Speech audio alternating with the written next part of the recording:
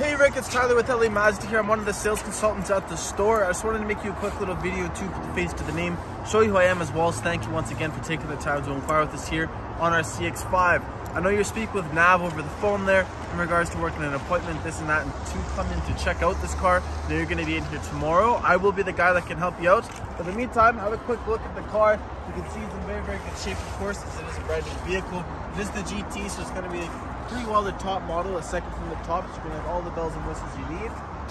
Yeah, so if you have any questions in the meantime before you come in here tomorrow, just give me a shout at 780-986-9665. Everyone for the day and take care. Bye-bye.